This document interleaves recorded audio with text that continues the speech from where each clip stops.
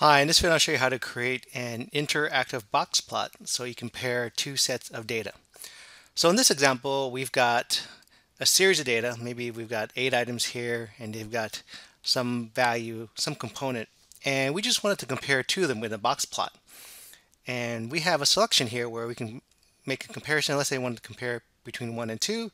We select that, that compares number one. You, oh, we already have item 2 here. Let's compare items 1 and the last item, item 8. And now you notice that item 8 has changed here and it's also changed in this box plot. So I'll show you how to create something like this.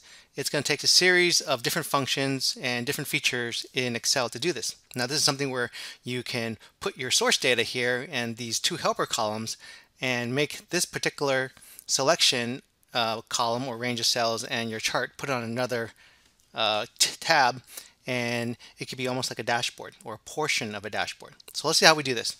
So I already brought over my data into this area over here.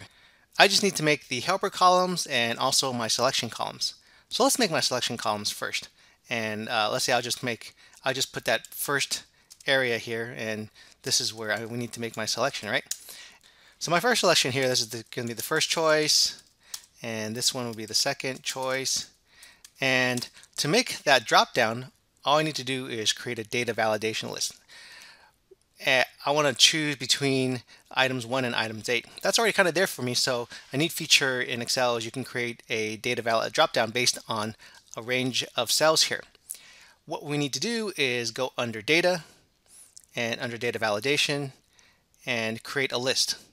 And this selecting the list and my source is going to be uh, these particular eight columns or eight cells. Click OK, and now you notice I have a drop down here, and I can select items 1 to 8. I'll do the same thing for here, but since I already created here, all I can all I need to do is just press Control C and then Control Control V, and I've copied uh, those set of attributes for here. Right, so that's my drop down there. Now I can select items 1 and then item 2 and you can see it's done nothing because I haven't created my helper column here. So I'm going to create a helper column here that will reference these selections. That's going to reference M2 here, or M3 here. And this one, this particular one is going to reference uh, this one here, right? So whenever I change this, it will change accordingly here, right? Item 4, and maybe this would be item 8, right? So what I need to do here is to look up values based on the selection of the column. What I want to do is create an index match function. So the index function, I'm going to type equals index and press tab to just complete that. And the array will be this whole array, this whole table here, right? And I'm going to press F4. That's going to lock the, the range because when we copy it into other cells, we want to have that range stay constant. So, so my second argument here is going to be the row number, right? So it's I want this lookup, this index to look up in this whole array and pick out which row to bring back. So if I'm on item four and I want to pick back that first value here, I want to pick out that second row, right? So to do that, I'm going to use a function called rows. WS, press tab to open it.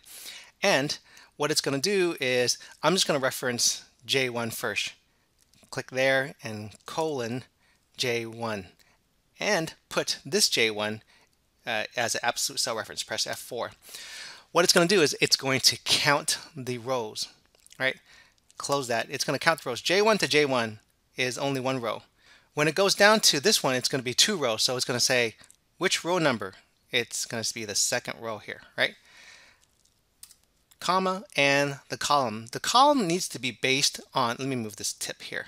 The column needs to be based on which number column item 4 is in. So item 4 is in 1, 2, 3, the fourth column. So I can't really hard code item 4 in there because this is going to change based on the drop down here. What I want to do is use a function called match. So I'm going to type match and match cell J1 and put that in absolute cell value, press put a dollar sign in front there, match that and let me bring my tip back down here so we can see a little bit better, right? So I want to match the lookup value, which is item 4, in where? The lookup array. And my lookup array is cell A1 to H1, right? That list. Press the F4 key to lock that because when I copy it over, I want to keep that consistent, right? So I want to match that, and I want to do an exact match, so I type to 0. So what this what this particular function does is it's going to look for whatever it's in cell J4, it's going to match this range of cells and since item 4 is in the cell D, the fourth position it'll bring back the number 4 so one, two, three, four, and it'll match number 4 so it's going to match the fourth column to bring that back. Press enter. Whoops I forgot to put a closing parentheses there. Excel smart enough to figure it out that I needed that so I'm going to accept this correction. Click yes. Oh we have item 4 we didn't want that. We want because it's bring it's bringing back the rows function here, which is one row. So the first row, of course, is going to be item four. We want this one to say J2, right? Then it's going to bring back 148. So if I click the fill handle and drag that formula down, now you notice that it's brought in everything else. So let's see how this particular function works, just to get an idea of what's happening. Well, what we can do is bring up the formula evaluator go to evaluate, go under formulas tab, go under evaluate formula, right? So this is how it's actually working. We have the formula first evaluating the rows function. Click evaluate. And you see it brought back the number two because the rows is looking at J1 to J2. This first cell is J1 to J2. Actually, let me let me go into J3 and that probably give you a better idea since we worked in J2. Let me close this and go into J3. Now you notice that it moved from J1 to J, J1 colon J3 from J1 colon J2, right? So that's how it works when you don't have the dollar signs in front of it. They don't stay static. So let's see how this particular set of functions work. Let's evaluate that. So we have a rows function. This particular row fun rows function is counting up how many rows show up in J1 to J3. It should be 3, right? So you click evaluate, and you see that number 3 there. The next function it's going to execute is matching J1. So J1 is item 4 click evaluate, it's going to say, oh, item 4, let me look in cell A1 to H1. So cell A1, cells A1 to H1, and it's going to bring back the fourth fourth column, 1, 2, 3, 4. It's going to bring back the number 4, right? It finds item 4 and 4, right? So that brings back the number 4. Now what it's going to do with this index function, it's going to look at this whole range, A1 to H20, and it's going to bring back the third row, fourth column third row, one, two, three, third row, fourth column, one, two, three, four, which brings that back 141. So this is how these set of functions are working. So I'll close that. Well, let's evaluate that. And we have our 141 here, right? So that's how it's working. And if I can just take this and drag it over, it will, oh, oops. When we copied it over, of course, we had some static cell reference here, some absolute cell reference here, so it didn't copy over.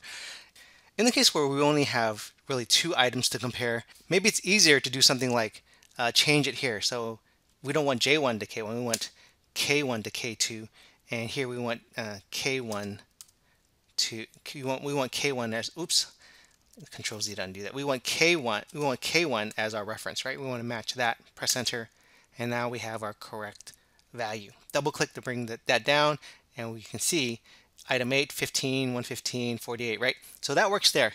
Now, this is easy when we have two items to compare. If you wanted to have like five items to compare, you don't want to go through and change it for each one when we copy uh, this thing over.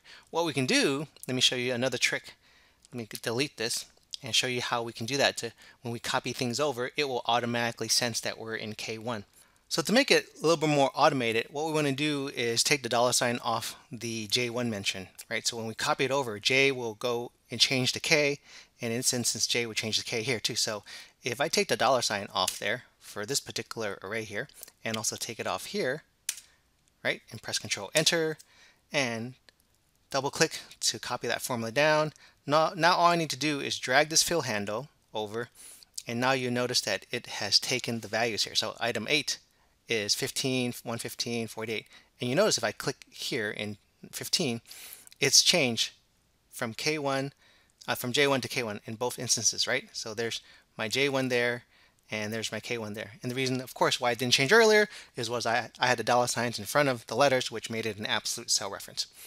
Now with this in mind, all I need to do is take these values and create the box plot. And there is in Excel 2016, there is already a box plot box plot um, chart. It's called Box and Whiskers. I can click on that, and it's done it for me already, right? It's kind of nice. Uh, early in earlier versions of Excel, they didn't have this available. You had to create it manually with a couple other steps. Here, here you had um, an easy way to do it. So I can click on that, remove the uh, axis label down there, and you can see that it's probably going to work because now I have item 4 here and item 8 here. If I change this to item 1, you'll see you notice that that changes. Item 8 here, if I change this to item 2, now you notice that that changes, and this changes correspondingly here, right? Now the rest of it is just cleaning up the chart, Rem removing the grid lines here, click on the grid lines, whoops, let me click out there. Let's click back in here. Click on the grid lines, press delete, maybe add a, a chart legend so I know what's happening, which ones are, are, are blue and which ones are red. That's the blue one, that's item one, that's item two. And if I wanted to double click to make this fit a little bit better, double click that and it fits. You notice also that once you do that, the chart expands a little bit and that's because the chart area, the, the dimensions, they will adjust based on the cells. If you didn't want that to happen, you kind of had nice, uh, a nice aspect and you didn't want that to happen, you have to go into format and go under the uh, size group, click on that expand, expanding menu item. And under properties, you can click it to say don't move or size with chart, right? So it won't move it and it won't resize it. So you can go change this and nothing happens, right? This nothing happens. Earlier you saw it, it moved out a little bit more, but now we've turned off that feature and so it doesn't do that. So let me double click here again to fill that. And so now I can change it all I want. Maybe I change this to item four and this one to item five.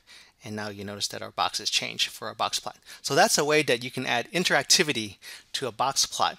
We can probably put these these particular items here on another tab and make it part of our dashboard.